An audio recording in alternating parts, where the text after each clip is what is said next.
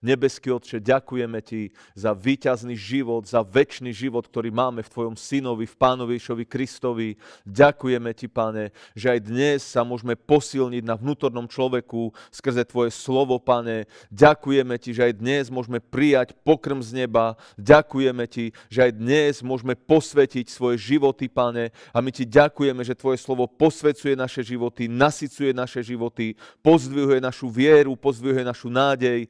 Ďakujeme Ďakujeme Ti, Pane, že aj takto môžeme mať navzájom spoločenstvo, spoločenstvo s Tebou, Pane. Ďakujeme Ti, že aj v tieto dni môžeme chodiť vo svetle, Pane, môžeme chodiť v Tvojej milosti. Ďakujeme Ti, že je to Tvoja milosť, ktorá posilňuje naše srdcia, Pane. A ja sa modlím, aby aj dnes sme boli posilnení tou milosťou, ktorá vyjde z Tvojho slova, Pane, ktoré budem zdieľať s bratmi a sestrami. Halelúja, Pane, a ďakujem Ti, že budeme môcť v sile tohto slova, Pane, že budeme môcť môcť zostávať vo svetle tohto slova. Ďakujeme Ti, že aj toto slovo je sviecou, je svetlom pre naše chodníky, pre naše nohy. Ďakujeme Ti, Pane. Háleluja, že Ty nás aj dnes posilníš, Pane, do týždňa, ktorý je pred nami. Ďakujeme Ti, Pane, že budeš jednať s našimi životmi a prosím, Pane, aby si mocným spôsobom jednal so životom každého jedného, kto počúva toto vyučovanie, eh, každého jedného, kto je účastníkom tejto bohoslužby. Ďakujem ďakujeme, Pane, že aj dnes ťa môžeme ctiť, vyvyšovať Teba, Pane. Halelúja. Ďakujeme Ti, Pane, že aj dnes môžeme upevniť svoje srdcia v Tebe, Pane, posilniť sa v hospodinovi vo svojom Bohu. Halelúja. Ďakujeme Ti, Pane, že Ty nám ukazuješ všetky stratégie, pane, nepriateľa, že Ty učíš naše ruky boju, pane, aby sme mohli vyťaziť, aby sme mohli žiť výťazné životy nad riechom, nad pokušením. Halelúja. Ďakujeme Ti za tento výťazný život v tom mocnom mene Ježíš. Amen. Amen. Halelúja. Takže, priatelia, bratia a sestry, uh, vitajte aj na dnešnej bohoslužbe. Je to naozaj milosť, že aj takýmto spôsobom môžeme mať uh, spolu uh, takýto čas a môžeme sa zaoberať Božím slovom. A hneď na začiatok by som povedal, že chcel by som nadviazať na tému, ktorú otvoril pastor Jardo, keď hovoril, hovoril naposledy o sejbe a žatve. A o sebe žatve môžeme hovoriť e, rôznymi e, spôsobmi, môžeme posilniť rôzne veci. Napríklad môžeme hovoriť e, o slove Božom ako semene, o semene Evanielia, môžeme hovoriť o finančnom semene. V podstate naše slova, naše skutky sú, sú vždy nejakou sejbou a vždy prinesú nejakú žatvu. Ale eh, a vieme, že v tomto rozmere, napríklad o tom hovorí list Korintianom, ale dnes budem čítať z listu Galackým, 6. Eh, kapitola, 7. verš a eh, chcem hovoriť poťahom na posvetenie a verím, že Pán nás chce posilniť v boji s hriechom. Takže 6. kapitola, 7. verš. Nemilte sa, Boh sa nedá vysmievať. Čo človek rozsieva, to bude aj žať. Pretože kto rozsieva svojmu telu, z tela bude žať skazu, porušenie. Kto rozsieva e, duchu alebo na ducha, z ducha bude žať väčší život. Amen. Takže e, tu vidíme, a písmo nás varuje, aby sme sa nemýlili v tejto veci, že určite e, zákon seby a žatvy proste platí, nedá sa mu vyhnúť a mm, vždy, vždy, vždy každá sejba eh, prinesie aj žatvu. A ako som povedal, chcem hovoriť na tému posvetenia. Uh, takže mm, možno len na úvod by som povedal, že chcem, aby ten kontext, keď hovoríme o hriechu, o pokušení, o, o zápase, o víťazstve, tak uh, chcem, aby sme v tom kontexte víťazstva ktoré vydobil Boží syn, hovorili, lebo je možné zvíťaziť a my sme povolaní zvíťaziť a my už sme dokonca v ňom zvíťazili, ale musíme vierou stáť v tomto víťazstve. Preto sa povzbudzujeme vo viere, povzbudzujeme sa v milosti, ale taktiež e, úlohou dnešného e, večera, dnešnej bohoslužby je posilniť sa v Božej bázni, lebo Božia bázeň je kľúčová a mm, Božia bázeň znamená si toľko, že potrebujeme zobrať Boha vážne, Božie varovania, Božie povzbudenia. To sú ľudia, ktorí majú Božú bázeň, ktorí Boha berú vážne. Takže budem hovoriť, budem hovoriť o boji s hriechom a sú v tom také, ja poviem, dve priekopy alebo dva extrémy možné. Jedna vec je, že sa hovorí toľko o pokušení, o hriechu takým náboženským spôsobom, že, že ľudí to až unaví, že ešte dokonca posilní to v nich hriech samotný.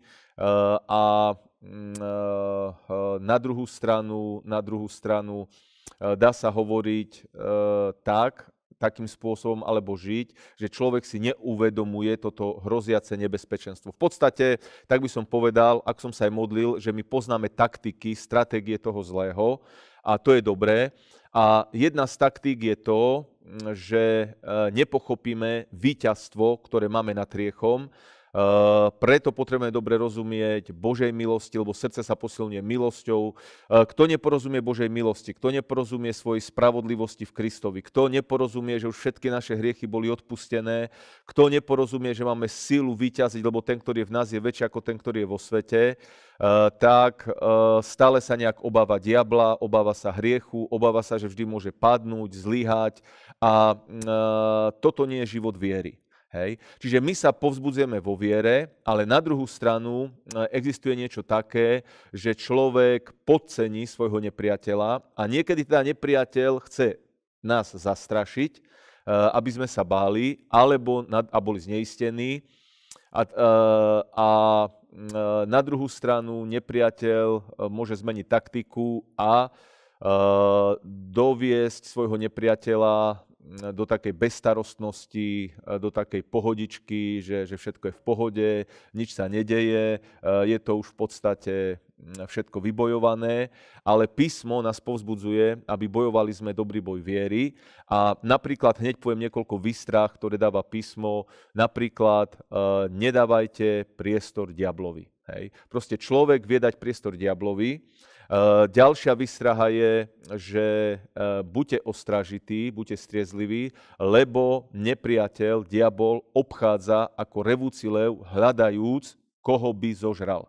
V tom je aj dobrá správa. Vidíme, že diabol len tak nemôže prísť a ľudské životy, priniesť deštrukciu, priniesť zničenie, veď keby to mohol, okamžite to urobí. Vieme, že to je jeho zámer ničiť, hubiť, zabíjať, kradnúť, devastovať, ale nemôže to len tak urobiť. Musí nájsť spoluprácu s človekom. Dokonca aj keď sa opováži zautočiť na život človeka aj bez našej spolupráce, ale my keď sa mu vzoprieme, to je zase napísané v liste Jakubovom, zoprite sa diablovi a on utečie od vás. Čiže e, zjednoduším to, skrátim to, víťazstvo je určite na našej strane, určite zvíťazíme, diabol určite utečie, ak sa vzoprieme diablovi, ak rozumieme jeho taktikám, ak nedávame priestor, eh, ak nevytvárame priestor skrze hriech eh, v našom živote, ale naopak, keď skrze hriech, kompromisy eh, dávame priestor v našom živote diablovi, tak zneužije to a stane sa to, čo je napísané v liste Petra, v druhom liste Petra 2.20. Eh, a tam varuje nás Peter a píše apoštol Peter, aby neboli naše dní posledné horšie ako prvé. Mm, píše o ľuďoch, ktorí spoznali Ježiša ako svojho pána spasiteľa, ušli po škvrnám sveta, to znamená, že obrátili sa, stali sa skutočnými kresťanmi a potom hovorí, že znova sa začali zaplietať e, s hriechom, so svetom, e, s pokušením, s poškvrnami, začali sa znova zaplietať a zaplietali sa e, do takej miery, že boli premožení. Takže tam sú dve fázy. Jedna je to zaplietanie sa a druhá vec je premoženie. Čiže tu vidíme, že e, diabol môže premôcť a môže zvíťaziť a preto písmo dáva tieto varovania, že kto stojíš, daj si pozor, aby si nepadol, že kto vytrvá až do konca, ten bude spasený. Čiže e, máme istotu spasenia, e, vieme, že Pán nám odpustil všetky naše hriechy, Dokonca vieme, že keď padneme do hriechu, môžeme hriech vyznať, očistiť sa v krvi baránkovej, učiniť pokánie a to je správne, nehrešiť. To je Božia bázeň a keď padneme, môžeme na novo povstať. Preto je dôležité poznať Božiu milosť a spravodlivosť, ktorú máme v Kristovi aby keď srešíme, neutekali sme od Boha v nejakom pocite trápnosti, menej cennosti, v odsúdení, v obvinení, lebo toto by diabol rád na nás hodil, ale naopak, preto sa posilneme v milosti, aby sme utekali priamo k Bohu, aby sme sa neskrývali za krík ako Adam pred Bohom, ale aby sme utekali priamo k Bohu so svojím pokáním a aby sme sa mohli očistiť v baránkovej krvi. Ale toto je ešte v poriadku. Hej, keď človek padne, písmo hovorí, že keď spravodlivý aj sedemkrát padne, znova povstane, ale písmo nás varuje, aby sme sa nezaplietali s hriechom, aby sme nedovolili hriechu zakoreniť sa v našom živote. Inými slovami, aby sme neboli ľahkovážni k hriechu, aby sme pamätali, tiež poviem ďalšiu výstrahu, ktorý hovorili s Korintianom, 1. Eh, Korintianom 5.8, E, že máme pamätať na to, že malo kvasu nakvasí veľa cesta a hovorí to poťahom, e, Apoštol Pavol píše to poťahom na hriech, aby sme sa očistili od každej nečistoty a mm, od každého hriechu, lebo že malo kvasu nakvasí veľa cesta. Takže mm, e, na jednej strane my vidíme silné zaslúbenia, čo sa týka víťazstva nad hriechom, a na druhú stranu veľmi silné varovania, ktoré nás varujú, napríklad, napríklad jedno z varovaní, ktoré tiež eh, môžeme prečítať, jedno silné varovanie v knihe Prísloví, 6. kapitola, 27. 28. verš, či môže človek shrňať oheň do svojho lona, aby mu nesoreli šaty? Či môže niekto kráčať po žeravom uhli a nepopaliť si nohy? Hej. Samozrejme, odpovede, že nie. Eh, človek, ktorý shrňa, svoj, eh, ktorý shrňa oheň do svojho lona, schoria mu šaty, človek, ktorý chce kráčať po žeravom uhli, popáli si nohy, čiže nie je možné, inými slovami, vystavovať sa hriechu, nechať pôsobiť dlhodobo hriech vo svojom živote bez toho, že by naše srdce nezatvrdlo, že by to nemalo následky. A vraciam sa späť k hlavnému textu, ktorý sme čítali z listu Galackým, že hriech má vždy devastujúci ničiaci následok eh, v našich životoch. A preto, priatelia, eh, chcem každého jedného povzbudiť, posilniť v boji s pokušením, v boji s hriechom, lebo samozrejme tým, že sme v lockdowne, eh, asi si naivne nemyslíme, že diabol má tiež lockdown, že démoni majú lockdown, dôležité je, aby sa nerozhodli mať lockdown u nás doma však. Takže pekne, nemilosrdne ich treba vyhnať z našich príbytkov, z našich životov, z našich medziludských vzťahov, z našich situácií. A eh, netreba, netreba im dovoliť lockdownovať spolu s nami. Uh, nemá diabol lockdown, není, není zavretý, ale obchádza ako revúci lev, hľadajúc, koho by zožral. Uh, uh, on robil všetko preto, aby sme nikdy nespoznali spasenie, ktoré je v Kristovi. A keď sme prijali spasenie, robí všetko preto, poprvé, aby skrze nás ďalší ľudia neuverili v pána, zdržuje akokoľvek nás od zasievania evanielia a po druhé, všetko robí preto, aby nás dostal späť na širokú cestu, ktorá vedie do väčšného zahynutia. Lebo samozrejme, ak som povedal, my máme istotu spasenia, ale písmo samozrejme učí to, že človek môže odpadnúť od Boha, môže byť, môže byť uh, ale nie, že tak odpadne ani nevie ako, ale vždy sa to stane tak, že človek dá priestor uh, diablovi vo svojom živote. Takže uh, ja by som ešte možno jednu vec zdôraznil, že samozrejme, keď, keď potom človek učiní pokánie, tak môže, môže, nie že môže, ale keď učiní pokánie, Boh mu určite odpustí, lebo cena bola zaplatená, drahá cena v krvi baránkovej. Ale na čo chcem dnes poukázať, aj tak hriech má devastujúci následok, eh, keď aj naše hriechy sú odpustené. A chcem to ukázať na, na dvoch príkladoch písma a na jednom zo života a možno taký klasický príklad, keď hovoríme o pokušení, o hriechu. ale len ním prebehneme, aby som ukázal tento princíp a to je prípad Dávida, čiže druhá kapitola, teda druhá kniha Samuelova, 11. kapitola. Príbeh Dávida, ktorý, ktorý zhrešil s Batšebou a chcem na tomto príbehu práve tento princíp ukázať, ktorý, o ktorom som tu hovoril. Takže poznáme asi všetci ten príbeh veľmi dobre a na tomto príbehu eh, vidieť jednu vec, aký je hriech progresívny, postupný a mm, aké má následky eh, v živote človeka, aj keď sú človeku hriechy odpustené, aj tak vedia zostať vážne následky a preto ja vás chcem dnes varovať. Hej. Ja, keď som sa modlil, toto som nejak vnímal vo svojom duchu a mm, ja verím, že keď príjmeš dnešné povzbudenie, eh, dnešnú nápravu, že, že eh, budeš jednať eh, s hriechom, s pokušením, ktoré prichádza do tvojho života, môžeš sa vyhnúť mnohým deštrukciám, mnohým zlým veciam. Takže Dávid.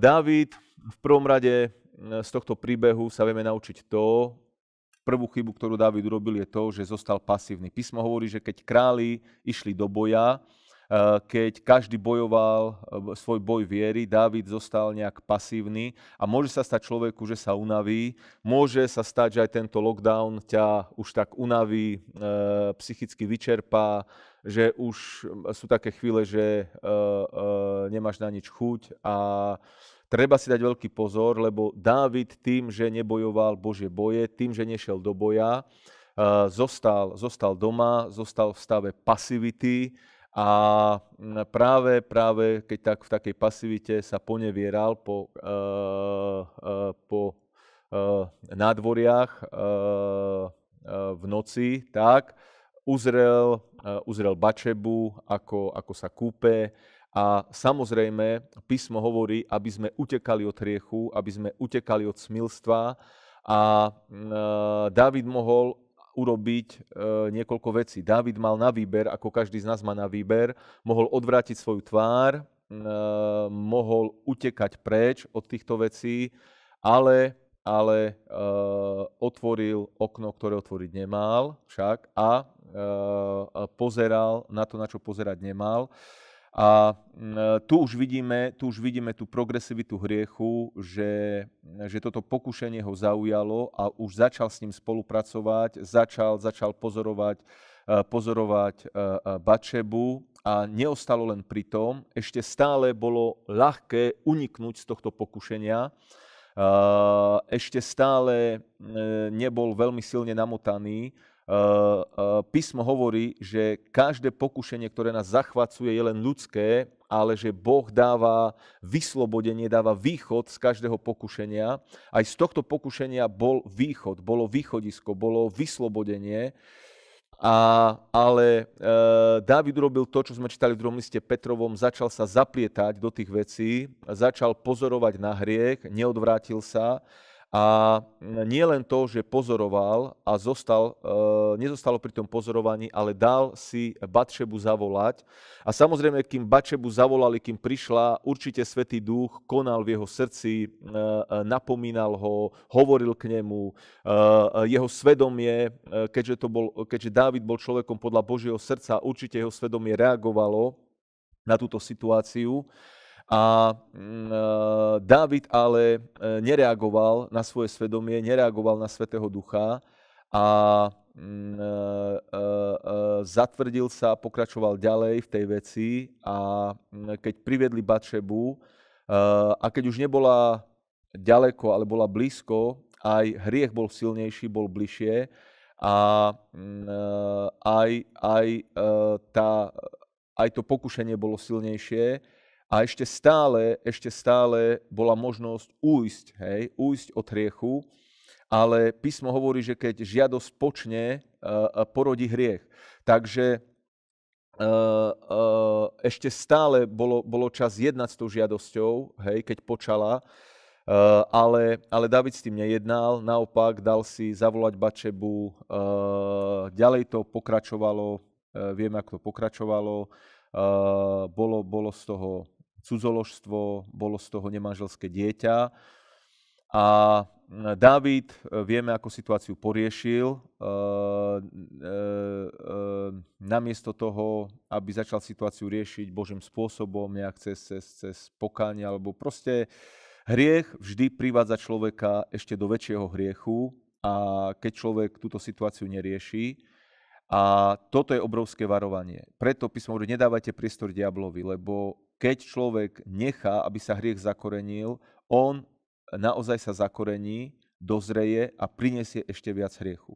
Čiže aj v tomto prípade nezostalo len pri cudzoložstve, ale my vieme, že zrazu prišiel úžasný nápad, hej, uh, a David, uh, David urobil taký podvod na jednom, uh, teda vymyslel, hej, takú pascu, zavolal Uriáša domov, uh, rátal s tým, že bude spať so svojou manželkou, Eh, aby, aby si myslel, že, že to je jeho dieťa, ale Uriášova odanosť voči jeho vojakom bola taká, že keď oni bojujú, že, že, že proste on, on, on nebude si užívať so svojou manželkou, takže ani si k nej nelahol. Davidové plány padli a pre krátkosť času len prebehneme to a povieme, že, že nakoniec vymyslel naozaj plán, hej, ktorý, Eh, eh, bol takým podvodom, napísal list, aby, aby eh, Dávid, teda Uriáš išiel do prvej línie a celé, celé viac menej bolo naplánované tak, že zahynie rukou nepriateľa, aj tak sa to stalo. A mm, toto je veľmi smutný príbeh, ktorý ukazuje na to, že človek nikdy netuší, kde, a to chcem hlavne poukázať, človek nikdy netuší, keď sa začne zahrávať s hriechom, že kam to celé môže dospieť, uh, kam, kam sa to celé môže dostať a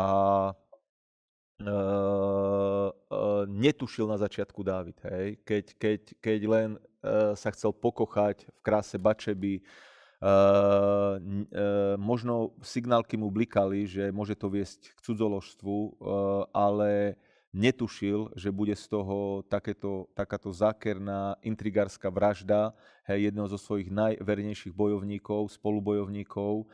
Uh, netušil, že bude z toho nemanželské dieťa, netušil, netušil ten acharit. Písmo, písmo je jedno hebrejské slovo acharit, ktoré znamená, že je to koniec tých vecí, že je to, to slovo označuje aj chrbat človeka, alebo veci, ktoré sú za nami a na ktoré nedovidíme. Hej?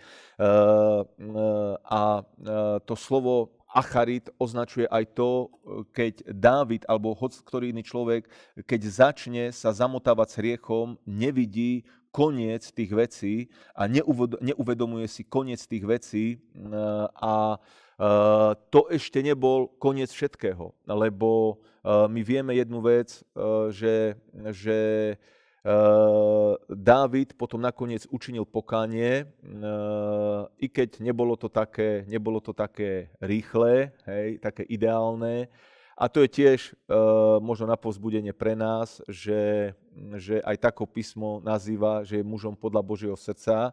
Uh, hoci, hoci uh, v tomto prípade nejak nepoponáhľal sa s pokáním a sa, samozrejme do toho vás ne, nepovzbudzujem, ale povzbudenie skôr spočíva v tom, že nemusíme zostať v odsúdení, že pán neustále má pre nás pripravené odpustenie, a takisto si použil proroka Natána, aby usvedčil Davida z hriechu, povedal mu to podobenstvo tej ovečke, dobre to poznáte, nejdem to opakovať, ale David, David si uvedomil svoj hriech, bol usvedčený Duchom Svetým, učinil pokánie a jeho hriech mu bol odpustený a bol uistený e, e, o odpustení tohto hriechu, ale čo chcem povedať, tento hriech aj tak e, proste mal následky. Hej. Bolo tu nemanželské dieťa, Uh, Uriáš bol mŕtvý, ale to ešte nebol koniec všetkého.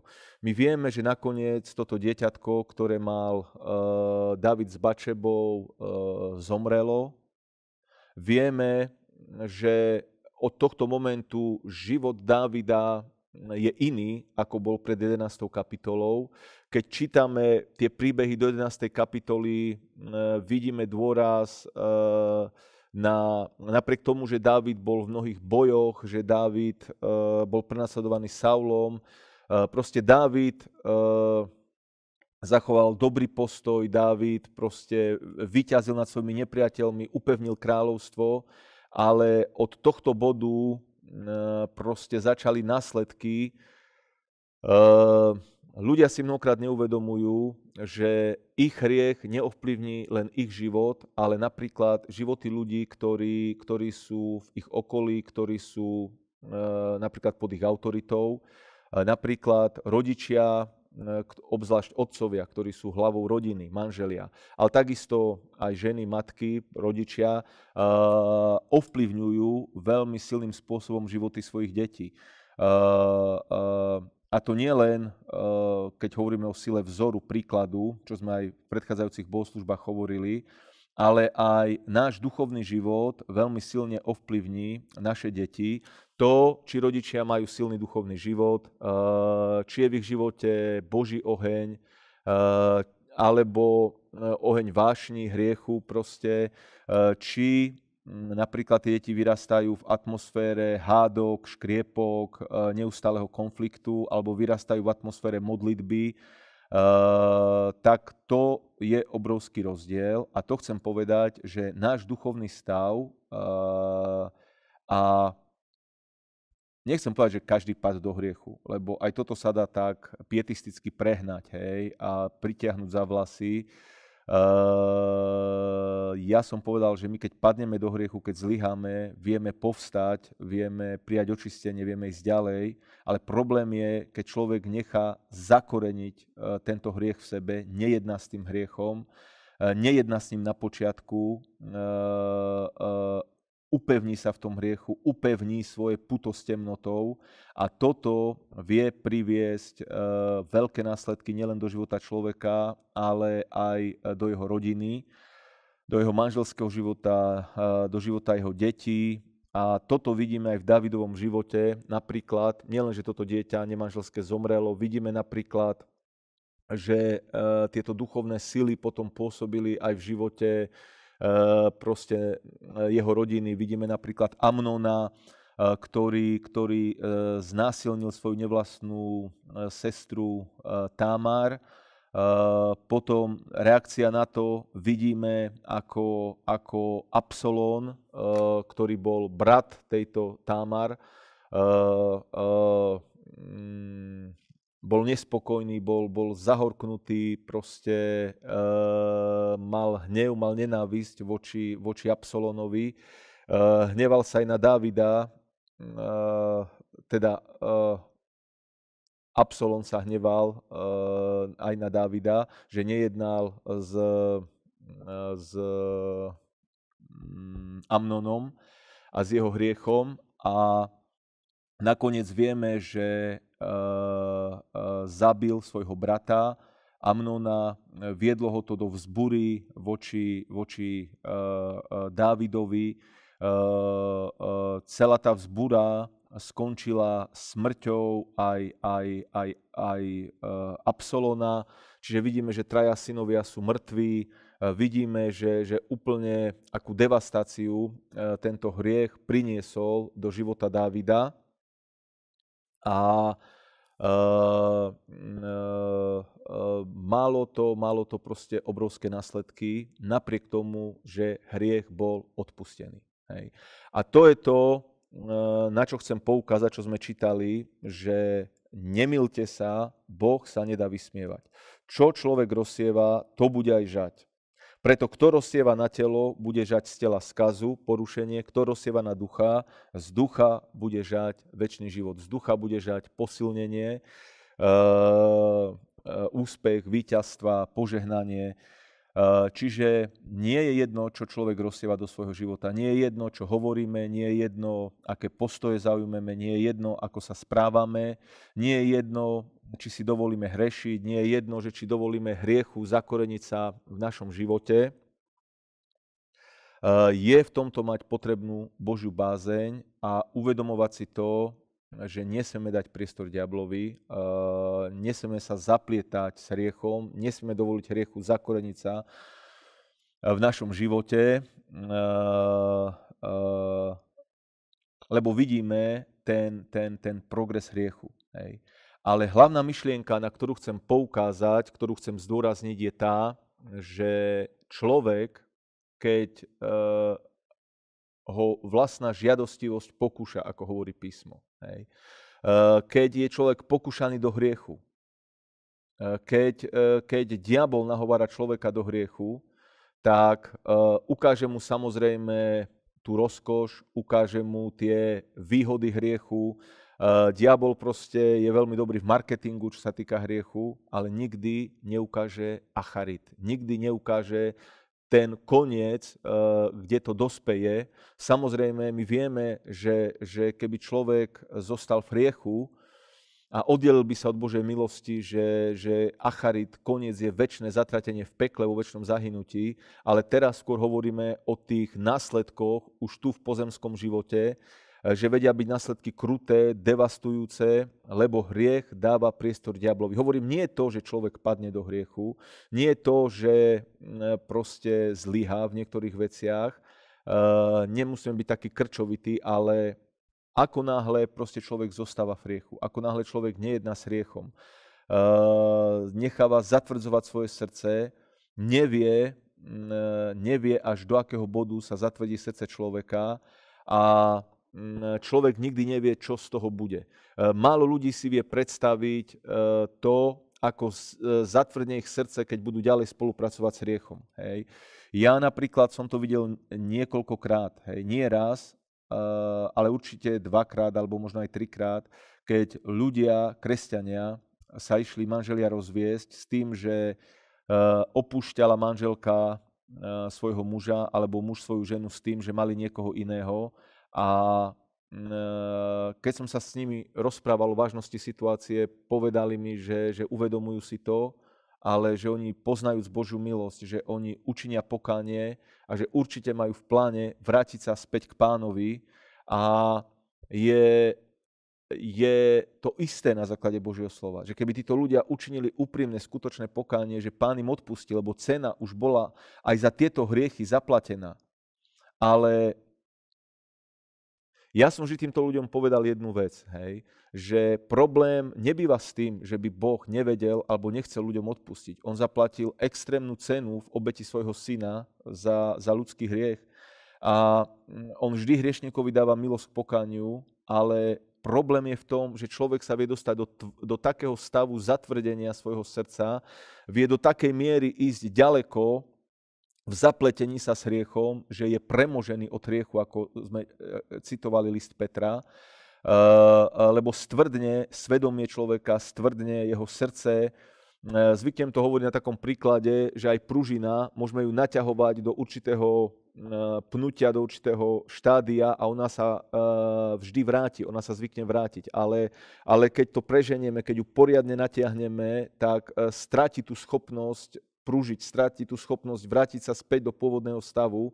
A takisto aj človek môže stratiť túto schopnosť uh, učiniť pokánie, môže stratiť uh, a nie, nie je problém na strane Boha. Nie je problém, že by Boh sa nezmiloval, nie je problém, že by Boh nebol verný svojmu slovu. Problém je, že srdce človeka sa zatvrdí, že, že stráti túto pružnosť uh, pred Bohom, túto flexibilitu a ja som vždy takto varoval ľudí a ja chcem povedať, ani jeden z týchto ľudí, teraz myslím na tri manželské páry, ktoré, ktoré takto viem, že skončili, e, že jeden z manželských partnerov odišiel kvôli inej žene alebo mužovi a všetci traja mi hovorili, že oni sú si vedomi, že nebo a peklo je reálne, že Boh je reálny a že určite sa chcú vrátiť k Bohu, ale už prešli roky v niektorých prípadoch viac než 10-15 rokov a títo ľudia uh, sú dnes vo svete, uh, vedia, že Boh je, vedia, že nebo a peklo je reálne, ale ten návrat k Bohu, ktorý plánovali, dodnes nezrealizovali. Proste ich srdce sa zatemnilo, ich srdce stvrdlo a človek nikdy nevie, kedy príde ten bod. Prečo to hovorím? Niekto povie, a takto strašiť ľudí. Uh, akokoľvek to človek môže nazvať, či strašením, uh, ja tomu hovorím, že sa posilňujeme v Božej bázni. Uh, že uh, uh, uvedomujeme si proste tú silu hriechu, nie preto, aby sme sa báli, lebo ešte raz poviem, my môžeme zvíťaziť a my máme zvíťaziť. Ten, ktorý je v nás, je silnejší ako ten, ktorý je vo svete. My môžeme a musíme zvíťaziť. Ale nesmieme začať spolupracovať s nepriateľom. A toto je výzva dnešného večera.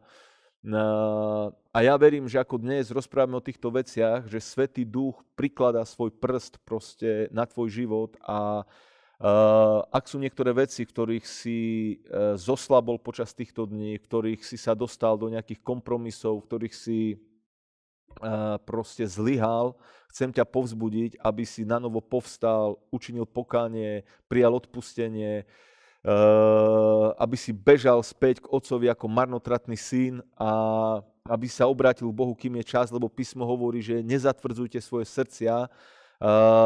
Dnes, dnes, keď počujete jeho hlas, nezatvrdzujte jeho srdcia, nezatvrdzujte svoje srdcia, dnes, keď počujete jeho hlas, ale naopak písmo hovorí, aby sme prijali to povzbudenie, to napomenutie, eh, eh, aby eh, pod vplyvom hriechu nestvrdlo naše srdce, takže hm, aby sme nestratili vzťah so živým Bohom. Takže ja vás dnes povzbudzujem do tohto, aby, aby tam, kde si zoslabol, kde si klesol, aby si sa znova otriasol, aby si znova povstal, nadýchol sa Božej milosti, prijal odpustenie hriechov. Chcem ťa pozbudiť k radikálnemu postoju voči hriechu, lebo len ten človek vie zvyťaziť, ktorý je radikálny. Ježiš povedal, keď Ježiš hovoril o hriechu, hovoril, že nemôžeme slúžiť dvom pánom. Buď to jedného budeme milovať, druhého nenávidieť, buď to budeme spolupracovať alebo pohrdneme. Hej. Nedá sa slúžiť, povedal napríklad Bohu aj mamone. Hej. Nedá, nedá sa hrať na dve strany. A hovorí, buď to budeš milovať, alebo to budeš nenávidieť. Hej. Človek sa nesmie zahrávať s riechom, preto písmo hovorí, utekajte od smilstva. Hej. A to sa netýka len smilstva, hoci smilstvo je dobrým príkladom, ale to sa týka každého hriechu. Hej. A to, čo chcem dnes zdôrazniť, je to, že človek nikdy nevie, aký to bude mať koniec, akú to bude mať dohru. Nemôže človek povedať, ja sa zastavím v určitom bode. Uh, už keď sa rozbehne človek, uh, už je veľká otázka, či potom v tom bode, kde si to naplánoval, to vie zastaviť. Ale pokiaľ je to možné zastaviť, ja chcem dnes ťa varovať, aby si, aby si zastavil, aby si zastavil ešte uh, Eh, to v tom rozbehu, kde to je ešte možné zastaviť, lebo čím to bude naberať väčšiu rýchlosť, väčší spád, tak bude to o mnoho horšie potom nejak zastavovať. A pritom písmo nás povzbudzuje. Hovorí na jednej strane, hriech či, číha pri dverách, ale ty ho opanuj. Hej? A tu sa dostávame do ďalšieho príkladu, ktoré hovorí písmo, príbeh o Kainovi a Abelovi, kedy, kedy Boh eh, prijal Abelovú obeď, lebo bola krvavou obeťou, bola podľa zjavenia, ktoré Boh dal prinesená, podľa viery, eh, ktorým odovzdal ich otec Adam a tá viera, že musí byť preliata krv, aby bol hriech zahladený. A Abel obetoval túto krvavú obeď, priniesol túto obeď, ale Kain eh, svojvoľne konal, poviem, bohoslužbu svojím spôsobom. Eh, obetoval Bohu eh, z úrody proste svojej farmy, svojho ovocia, zeleniny a priniesol z úrod zeme, ale ne, ne, ne, ne, nebolo to to, čo Boh chcel, aby priniesol, preto Boh zhliadol priaznivo na Abelovú obeď, ale na Kainovú nie. A, a, a Kain toto vedel, že táto obeď nebola prijatá. A e, toto vidíte potom v celých dejinách ľudstva, že, že náboženskí ľudia hej, sú tí istí ľudia, ktorí slúžia tomu istému Bohu, ktorému my. Uh, uh, a náboženskí ľudia, keď vidia, že ich uctievanie, ich obetovanie nie je prijaté od Boha, že na to nepríde Božia priazeň, že na to nepríde oheň z neba, že na to nepríde odpoveď Božej prítomnosti, Božieho požehnania, tak e, zatvrdia svoje srdcia títo náboženskí ľudia a idú proti ľuďom, ktorí milujú pána, ktorí ho ctia v duchu a v pravde. Hej, vidíme, že najväčší problém mal Ježiš s farizejmi a v celých dejinách vidíme, že skutočná církev mala najväčší problém od falošnej círky, od falošných kresťanov a najväčšie prenasledovanie e, zažila od nich. Takže e, čo chcem povedať, už tu na počiatku ľudských dejín toto vidíme, že eh, do srdca Kaina eh, prišla závisť, prišla žiarlivosť, náboženská závisť, náboženská žiarlivosť a nedal pozor na svoje srdce a začal sa hnevať na brata. A, a Boh sa mu prihovára a hovorí mu, že, že, že prečo, prečo, prečo opadli tvoje líca, prečo si taký nadutý, že, že usmej sa, hovorí mu Boh. Usmej sa, že kuty hore, uh, uh, Kain, čo si, čo si taký odutý? Uh, a hovorí mu, ešte je čas, keď budeš robiť dobre, rozjasní sa tvoja tvár, radosť sa ti navráti. Ešte je čas, lebo dávaj pozor, hriech leží pri tvojich dverách, hriech číha na teba, ale ty ho opanuj. Čiže vidíte, to je to vyrovnané zdravé učenie v písme, že na jednej strane písmo nás chce jasne varovať pred spoluprácou a pred zapietaním sa s hriechom, ale na druhú stranu hovorí, ale ty ho opanuj. E, e, náboženstvo straší ľudí s hriechom, s následkami hriechu, ale nevie dať, nevie dať východisko. My kážeme slovo viery. Je možné zvíťaziť nad hriechom. Je možné opanovať hriech. To je to posolstvo, ktoré Boh dal Kainovi, že ty zvíťazíš, ty opanuješ hriech. Ale začni teraz s tým hriechom jednať. Nespolupracuj s ním ďalej. Ak budeš dobre robiť, rozjasni sa ti tvár, zvyťazíš, opanuješ ten hriech, budeš mať nad ním nadvládu. Ale pozor, na druhú stranu hovorí, hriech číha pri tvojich dverách. Bratu, sestro, ja ti chcem povedať, hriech číha pri tvojich dverách. E, či to cítiš alebo necítiš, e, e, démoni vždy na tomto pracujú človeka predpripravujú, máme svoju telesnosť, proste vždy, vždy, vždy tu bude plán, ako diabol bude obchádzať a snažiť sa nás získať. Snažiť sa nás priviesť do hriechu. Ale dobrá správa Evanília je, že ty môžeš zvíťaziť a že ty si už v Kristovi zvíťazil, ale potrebuješ vierou stať v tomto víťazstve, ale nie pasívne, ale potrebuješ bojovať dobrý boj viery. Uh, potrebuješ pretrhať všetky zväzky proste s hriechom, so spoluprácou, s temnotou. Potrebuješ byť v tom radikálny, ako povedal Ježiš, keď je potrebné vytrhnúť si oko, odťať ruku, nohu. Samozrejme, cieľ není sa dokaličiť, lebo hovorí potom ďalej, že zo srdca človeka vyvierajú tieto hriechy, čiže keby si človek aj obidve oči vybral, aj obidve ruky odsekol, obidve nohy by si odsekol, aj tak e, koreň hriechu je niekde o mnoho hlbšie. Čiže tu išlo pánovi o to ukázať tú radikalitu v boji s riechom a ja ťa chcem dnes povzbudiť do takéhoto radikálneho postoja, aby aj v tomto čase lockdownu sme nezleniveli eh, v boji s riechom, aby sme si nemysleli, že démoni sú niekde zavretí doma, že majú lockdown, ale, ale eh, oni, oni aj tak pracujú a naplňajú a chcú, sa, a chcú naplniť svoje plány teda, ale my sme viac než víťazi, my môžeme slávne vyťaziť, na každom mieste môžeme triumfovať, hovorí písmo. Takže preto dnes posilňujeme svoje ruky, preto dnes posilňujeme svoje srdcia, priatelia. A ešte dokončme ten príbeh o Kainovi a Abelovi. Uh, uh, my vieme, ako to ďalej pokračovalo. Nejakým spôsobom proste Abel, uh, teda Kain si nechal, nenechal dohovoriť a hovorí bratovi Abelovi, že poď, ideme na pole. A vieš, to určitý čas trvalo, kým prišli na pole. My neviem, aké to, ako to pole bolo ďaleko, ale trvalo urč, určitý čas, kým išli na pole. Hej. A, a on vedel, prečo brata volal na pole a určite jeho svedomie a určite Svetý Duch e, v ňom jednal s tými slovami, ktoré mu Boh povedal, e, že opanuj ten hriech, daj si pozor, hej, e, číha pri dverách a on išiel ďalej. On ďalej spolupracoval s tým hriechom a opäť, keď začal žiarliť, keď začal zavidieť svojmu bratovi, keď sa na ňo začal hnevať, on netušil, aký to bude mať následok. On netušil, on netušil, že, že, že pozrite sa, niekto si povie, že to nie je až taký hriech, že závisť, alebo že žiarlivosť, alebo že no tak nahnevám sa, hej. E, dobre, dobre. E, samozrejme nehovorím o tom, že človek sa nahnevá, hej, proste proste človek sa nahnevá hej, pri niektorých situáciách. Ale problém je, keď človek zostane v tom, v tom postoji hnevu. Hej. Písmo hovorí, nech hnev nezapadá, nech slnko nezapadá nad vašim hnevom. Hej.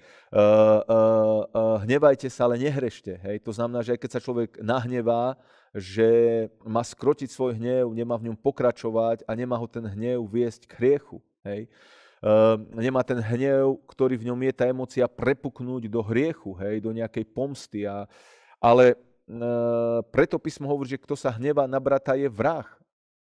Lebo, lebo tá vražda mala svoj počiatok v hneve. A to chcem povedať, že niekto si povie, že to je len hnev, to je len žiarlivosť.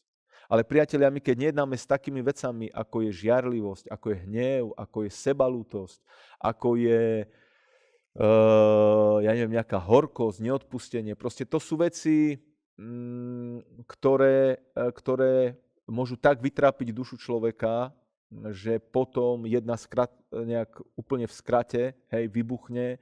A mm, to je to, o čom hovorím dnes. Že, že začne to možno pozeraním po Batšebe, začne to možno žiarlivosťou na brata, zlými myšlienkami voči bratovi. Ale potom Dávid nevedel, kde to celé skončí. Keby bol Dávid videl ten Acharit, keby Dávid bol videl ten koniec, keby Kain bol videl ten koniec. Kain zrejme ani nevedel, že keď udrie svojho brata, že čo, čo, čo, čo môže spôsobiť. Je veľká otázka, či ho on chcel zabiť. Asi ťažko. Podľa mňa on ani nevedel, čo je to smrť. Ale zrejme zrejme už teda zabíjali zvieratá, tak asi, asi vedel teda, čo je smrť. Je veľká otázka, či ho chcel zabiť, či, či proste ho chcel udrieť, akokoľvek. Proste my nevieme, kde niektoré veci skončia. A varovanie, ktoré a zároveň povzbudenie, ktoré dnes chcem dať, je to, aby sme sa nezahrávali s hriechom, aby sme sa nenamotávali na hriech.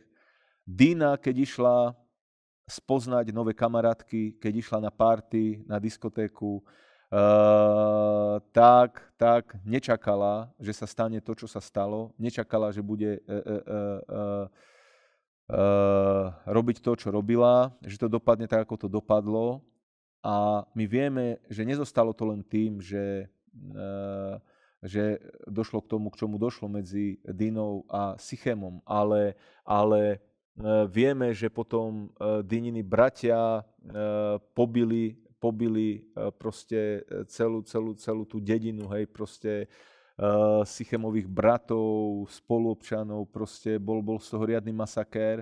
A začalo to tým proste takým, takým malým, že išla spoznať, išla trošku naskúsiť do sveta, hej, Uh, išla, išla trošku sa zahrať s riechom, uh, išla skúsiť, aké to je vo svete. Proste uh, ja len chcem povedať, že nikdy, nikdy človek nevie predpokladať tie následky a tohto sa treba zlaknúť. A, a mojou túžbou a mojou modlitbou je, aby toto, čo s vami zdieľam dnes, prinieslo bázeň do našho života, aby sme sa nezahrávali s hriechom, ale naopak, aby sme utekali od hriechu, aby sme utekali za pobožnosťou, za spravodlivosťou, za vierou, aby sme urobili dobrú sejbu do nášho života, lebo kto rozsieva na telo, bude žať z tela skazu. Nedajte sa, bratia, nemilte sa, Boh sa nedá vysmievať. Hej. Proste to je veľmi vážne varovanie z Božieho slova. Je to proste princíp, ktorému sa nedá vyhnúť, proste, že, že keď dáme priestor diablovi, keď dáme priestor hriechu, že bude to mať následky, obzvlášť keď zotrváme v hriechu a začneme s ním spolupracovať.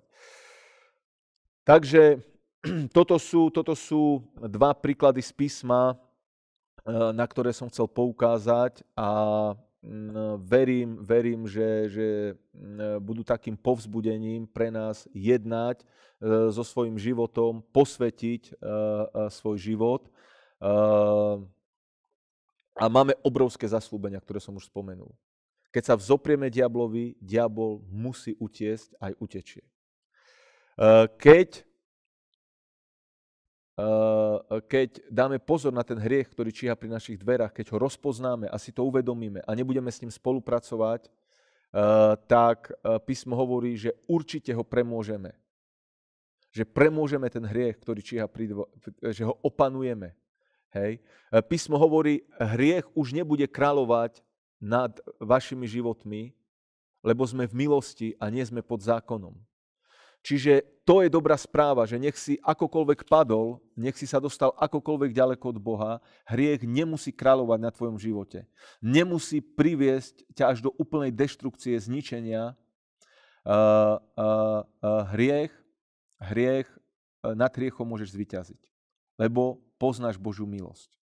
Nemusíš utekať od Boha, môžeš utekať k Bohu ako marnotratný syn, prijať otcové objatie, prijať jeho milosť, prijať jeho odpustenie a na záver, na záver, na záver eh, ešte sa podelím s jedným príbehom, ktorý je tak mocný pre mňa a, ktorý dal obrovskú výstrahu do môjho života a veľmi silne pomenúva tie veci, o ktorých hovoríme. A tento príbeh eh, píše vo svojej knihe doktor Michael Brown. Eh, viete, že to je jeden z popredných božích mužov, ktorí boli v pensakolskom prebudení v 90. rokoch a on vyučoval aj na tej škole prebudeneckej, v ktorej vyrastli mnohí služobníci, ktorí aj dnes slúžia v mnohých zboroch a napísal mnoho kníh, hej, ktoré, ktoré sú o posvetení a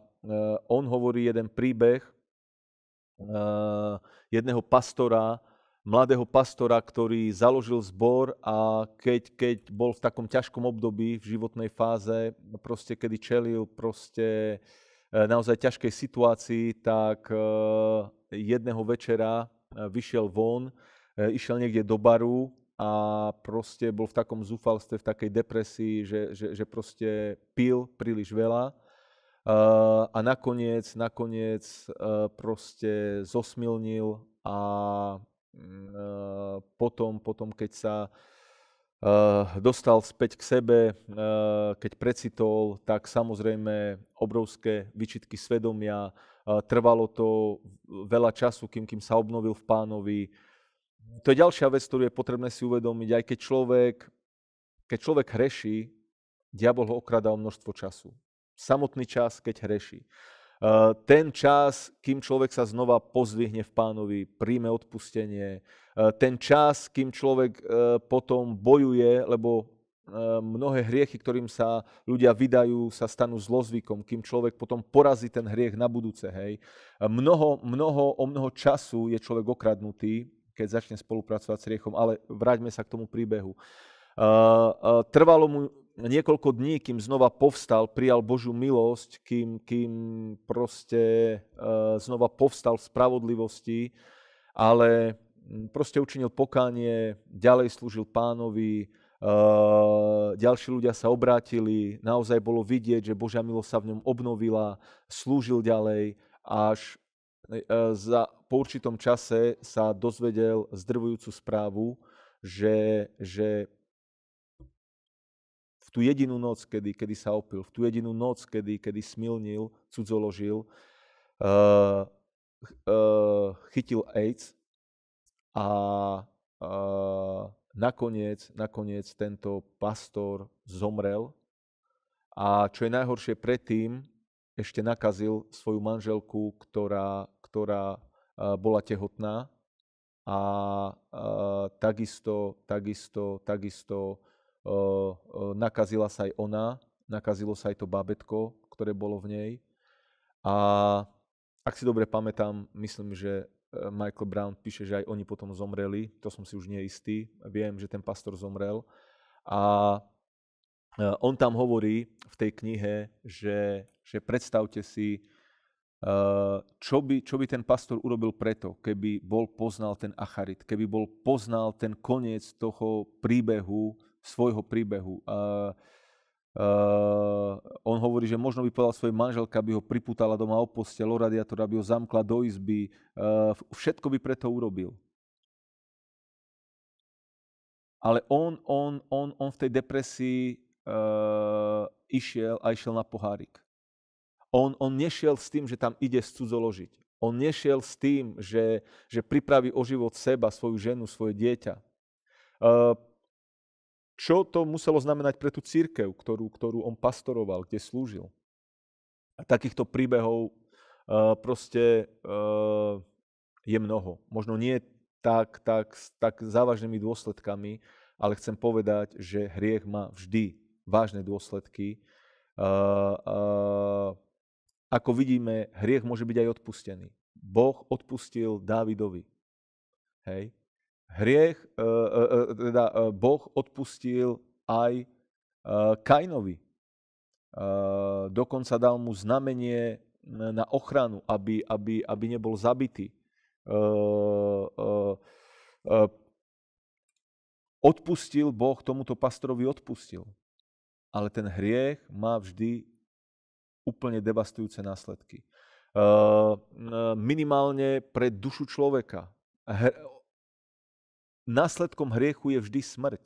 Nemusí to znamenať hneď smrť v pekle, vo väčšnom zahynutí, ale vždy určitá dávka jedu smrti je e, proste e, e, sa dostane do ducha človeka, do duše človeka, do jeho emócií, do jeho života. Proste príde určitá dávka jedu, smrti, ktorá, ktorá ničí jeho život. Hriech sa posilňuje v človeku a ako som povedal, trvá to určitý čas, kým sa človek obnoví a najhoršie je, keď človek zaspolupracuje do takého bodu, že to prinesie katastrofálne následky. Ľudia si povedia, že nie, nie, nie, ja do takého bodu sa nechcem nikdy dostať. Ale ešte raz, nikto neplánoval, že sa dostane tak ďaleko.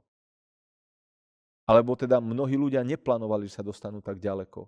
Ale ľudia nerátajú s tým, že ich srdce stvrdne, že ich mysel zatemneje, že ich svedomie sa prevráti a budú schopní urobiť veci, ktoré by si nikdy nepomysleli, že budú schopní urobiť. Lebo ten hriech má vždy nejaký následok.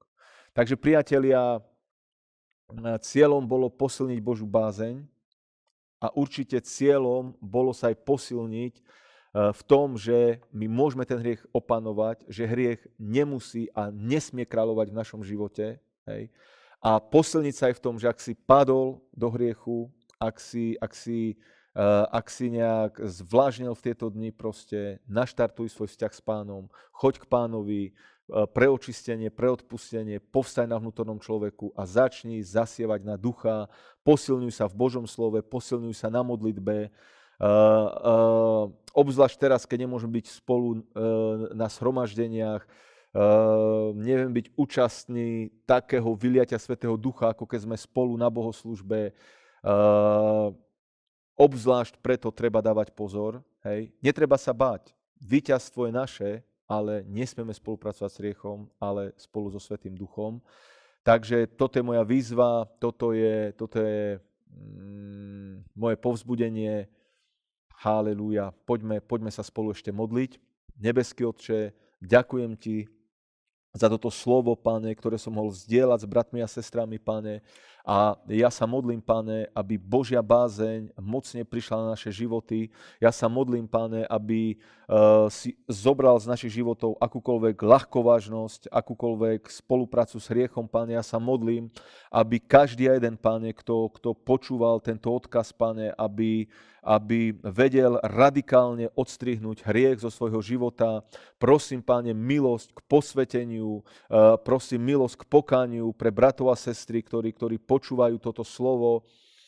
Prosím, páne, nech, nech majú milosť učiniť pokanie, nech, nech majú milosť prijať odpustenie, ktoré si im pripravil v Kristovej obeti. Ja ti ďakujem, páne, že krv bola preliatá. Ja ti ďakujem, že ak vyznávame svoje hriechy, ty si verný a spravodlivý, páne, a ty nás nebudeš súdiť kvôli našim hriechom, lebo krv bola preliata, cena bola zaplatená, ak učiníme pokánie ak sa obnovíme v Tvojej milosti. A ja prosím, Pane, aby, aby, aby každý jeden sa vedel obnoviť, Pane, aby každý jeden sa vedel navrátiť k Tebe, eh, aby každom a jednom sa znovu, Pane, posilnil ostrý postoj voči hriechu, radikálny postoj voči hriechu. Halelúja. Ja ti ďakujem, Pane, že Tvoje slovo má moc posvetiť naše životy, oslobodiť naše životy. A ja ti ďakujem, tak ako sa Dávid modlil, Pane, že, že že vklada svoje slovo do svojho srdca, že ho stráži vo svojom srdci, aby nehrešil voči pánovi. Ja ti ďakujem, že aj my sme dnes mohli vložiť toto slovo do svojho srdca, pane, a ono bude jednať v našom živote. Ďakujem ti, že sme mohli urobiť sejbu na ducha, pane, a ďakujeme ti, pane, za túto výstrahu a za toto posilnenie skrze tvoje slovo. Amen, amen. Takže, bratia, sestry, eh, priatelia, ja vás povzbudzujem, ak Svetý Duch poukázal na niektoré veci, teraz hneď proste uh, choď do svojej komórky, ako hovorí písmo, uh, uh, bež do otcovej náruče, zober sa od svíň a proste navrať sa domov. Ja neviem, možno, možno si v aute a počúvaš toto slovo, zaparkuj eh, pri najbližšej príležitosti, čiň pokánie, alebo, alebo teraz eh, modli sa k pánovi, čiň pokánie, neodkladaj to, eh, nenechaj, nenechaj ten kvás, lebo málo kvasu vie nakvasiť veľa cesta. Naopak, ak sa to slovo dotklo, tak, tak, tak bež k Bohu, príjmi milosť.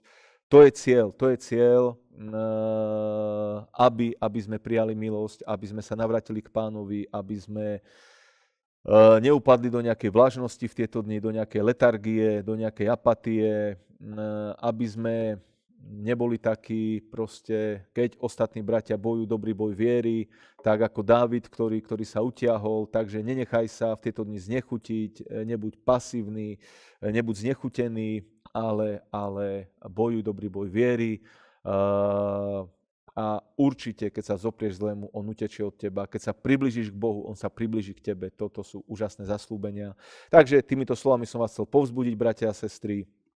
Čo sa týka programu, vidíme sa, vidíme sa, vidíme sa o týždeň na takejto online bohoslužbe. Nevyzerá to, nevyzerá to zatiaľ tak, že by, že by sa išlo do nejakej lepšej fázy, čo sa týka uvoľňovania. Naopak eh, vyzerá to, že ešte eh, nejaké, nejaké týždne eh, lockdown potrvá a mm, preto, preto o to je potrebnejšie sa posilňovať v pánovi a, a ďalej sa modliť, nech, nech nás pán vyslobodí z tejto situácie čím skôr, aby sa mohli obnoviť bohoslužby, Takže, takže určite sa vidíme o týždeň a môže byť, že bude vo štvrtok skupina. Uvidíme, znova vám dám vedieť eh, na Facebooku, eh, alebo kto nefunguje na Facebooku, tak pošleme mail, ako zvykneme. Takže dám vedieť, či bude eh, skupina počas týždňa alebo nie. Ak bude, tak sa včas dozviete. A samozrejme chcem vás povzbudiť. Toto, čo robíme a čo sme dnes účastní, nie je len ja neviem, eh, nejaké vyučovanie, eh, ktoré, ktoré eh, púšťame do éteru, ale je to bohoslužba, ktorej sa účastníme a preto nezaznie iba slovo, odkaz od Svetého Ducha, nezaznie iba modlitby, ale takisto prinášame Bohu naše obete, naše dary, takisto ako v cirkvi, keď robíme zbierku, tak aj teraz dovolte, aby som vás povzbudil k štedrému dávaniu. Hovorili sme o zákone sejby a žatvy a list Korintianom hovorí o tom, že aj v oblasti financií pôsobí tento zákon sejby a žatvy, že kto hojne rozsieva, hojne bude žať, kto pri požehnaní rozsieva, s požehnaním bude aj žať. Kto skupo rozsieva, tak aj skupejšia bude žatva, ale bude žatva. A potom z tej žatvy zasa ešte viac môžeš zasiať a môžu, môžu, môžu, môžu, môže takto rásť aj tvoja prosperita, môže aj takto finančne napredovať a mm, chcem poďakovať všetkým vám, ktorí podporujete Božie dielo. Chcem poďakovať všetkým, ktorí sa zaviazali k slubu viery. Obzvlášť chcem poďakovať tým, ktorí aj reagovali, ak som vás vyzval, aj viackrát vyzýval, aby aby ste buď, buď nejak v sms alebo v maili, aby ste mi dali vedieť proste sumu, ktorú ste sa rozhodli dávať. Ja som viackrát vysvetloval, prečo to považujem za dôležité. Čiže naozaj vážim si to, ďakujem každému, kto takto zareagoval. Obzvlášť teda ďakujem tým, ktorí aj, aj už, už poslali hej, v januári tieto sluby viery na budovu. A obzvlášť ďakujem tým, ktorí to aj dali vedieť. Ak, ak si na to pozabudli, tak to pripomínam. Takže eh, aj ten slub viery na budovu som pripomenul, ale teraz, teraz je čas, teraz je čas uh, priniesť svoje dary pánovi, uh, takže ako, ako máte vo zvyku, buď cez QR kód, ktorý uvidíte, alebo čísla účtu sú v popise videa, alebo môžete odložiť doma a potom, keď sa uvidíme, môžete, môžete eh, priniesť eh, eh, na bohoslužbu, ale ja vás povzbudzujem, ak, ak aj nezvyknete počas každej bohoslužby posielať, tak raz za čas je to dobre poslať, aby bol pohyb na účte, aby, aby Božie dielo aj v tejto oblasti napredovalo. Takže mm, je dôležité aj čím dlhšie ten lockdown trvá, aby, aby sme nezaspali v modlitbách, aby sme nezaspali e, v budovaní Bože, lebo Bože dielo sa buduje cez modlitby, hej, duchovne, cez modlitby, cez takto vyučovanie Božieho slova, cez kázanie Evanielia, ale takisto cez dávanie, čiže akokoľvek my pokračujeme v budovaní Božieho diela a si myslím, že celý ten lockdown jeden eh, z dôvodov, a nie že toho lockdownu, ale tej pandémie, je to, aby církev bola uspatá, aby zvlažnela a my o to viac sa potrebujeme rozhodnúť byť horliví v dávaní, v podpore Božieho diela, v modlitbách, v kázaní Evanielia, eh, aby ten tlak, ktorý je na Božie kráľovstvo, spôsobil ešte väčší protitlak, aby sa diabol naučil, že keď spôsobí tlak na náš život, že náš protitlak bude väčší. Hej. Uh, takže uh, netreba sa utiahnuť ani v dávaní, ani v modlitbách, ani v kazaní Evangelia. Keď je tlak na to, aby sme sa utiahli, potrebujeme ešte väčší protitlak vypôsobiť a uh, o to, o to väčšie ovocie môžeme vidieť. A ako som už minule hovoril, že boli aj dobré odozvy na tú evangelizáciu, ktorú sme robili, online evangelizáciu, eh, tak už nie sú len pozitívne odozvy, ale už vieme aj o konkrétnych ľuďoch, ktorí sa obrátili, ktorí sa modlili modlitbu spasenia. Takže preto to len hovorím, aby sme vedeli, že naša námaha, naša práca v pánovi nie je márna, ako hovorí Božie slovo, ale, ale každá sejba prinesie aj žatvu. Takže ďalej sa modlíme za žatvu, aj z tej evangelizácie. Eh, chcem vás povzbudiť, aby sme ďalej kontaktovali ľudí, eh, ktorí, ktorí sa nám ozvali alebo ktorým sme sa my ozvali. Takže mm, nech, nech, nech, eh, nech vás pán posilní, nech, nech aj do tohto týždňa, ktorý je pred nami, máte milosť vybojovať všetky boje, nech Boží pokoj je na vás. Ako sa zvykneme lúčiť, tak aj dnes. Zo srdca vám prajem, bratia a sestry, nech pánova radosť je našou silou, čiže povzbudzujem vás, buďte šťastní, buďte radostní, lebo pánova radosť je našou silou. Šalom, šalom, majte sa pekne.